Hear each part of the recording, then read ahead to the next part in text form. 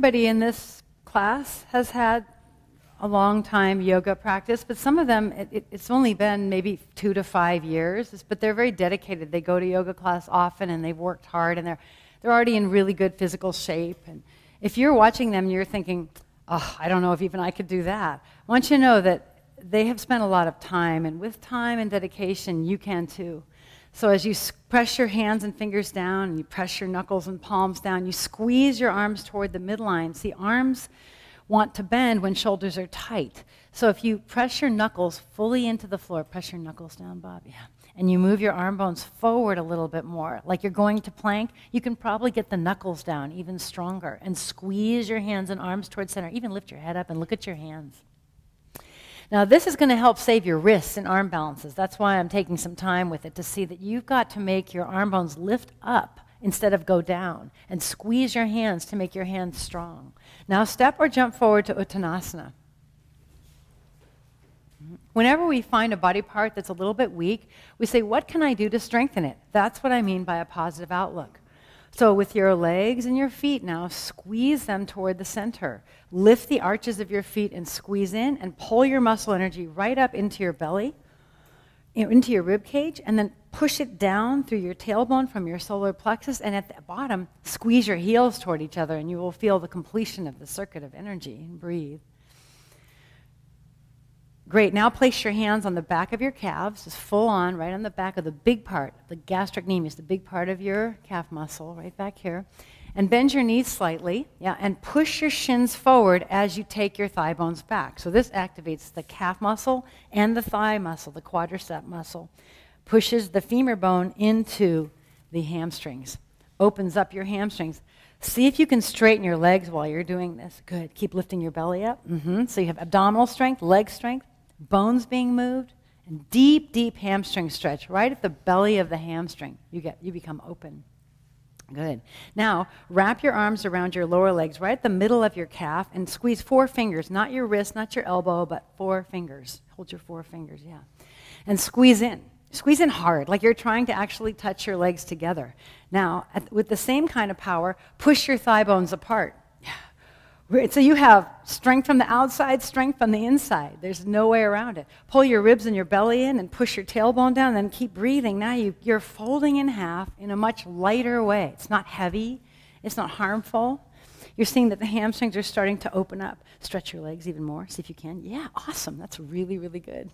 I've seen you come a long way in a short time. And now come down to the floor in a squat. Now, when you squat, some people's feet will turn out. We're working on trying to keep our feet straight forward, so we might have to go wider, putting our arms and our shoulders in between our legs. Yeah, this is called malasana, and for some people, they have to modify it. Like Deborah has uh, bone on bone. She has no cartilage in her knee, so she's not going to go any farther than this, and she can still strengthen her legs this way. Good. Very wonderful. And now come back to Uttanasana, and you'll see that even just that little time squatting has changed your standing forward bend. This is the same standing forward bend that we were practicing with the legs. You know, we were using our arms, you can just do that work with your leg muscles.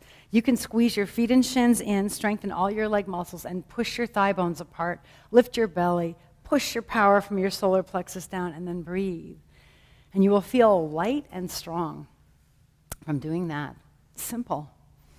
Now lift your feet one at a time and insert your right hand under your right foot and your left hand under your left foot, palms facing up. This is so great, all the way up into your wrists. It's a great wrist stretch. Push down with your toes into your hands and stretch your arms. Let's bend the arms now. So we're going into a deeper stretch and letting the head hang down. Mm-hmm. And now straighten your arms completely straight and pull your ribs up. Pull your belly up, lengthen your tailbone down, and then breathe. Look, you can look up a little bit. You can lift your head. Yeah. So you're deliberately straightening your arms. Move your triceps, move your arm bones forward, more toward the edges of your mat, the front edge of your mat. Good. And then exhale, soften your heart. Bow again, bend your elbows. Great stretch. And now come up to standing. We're going to take the right leg and we're going to put it over the left leg so it'll look like the number four, and we're going to keep all of our toes spread. All of the toes on the right foot are going to be really spread. The arches lift on the left foot, And then we're going to come down, bending the left leg to touch the floor. This is just a stretch, just a stretch for your outer right hip.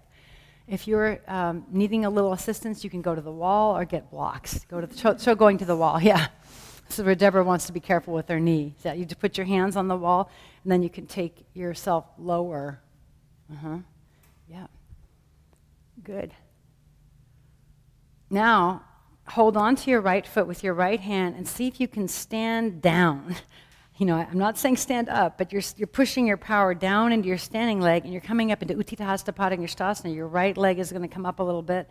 You're going to see if you can get your abdominal power to flow down through your standing leg and to go out into your hand. And maybe you can straighten the leg, maybe not. Yeah, but this is great balance exercise. Mm-hmm.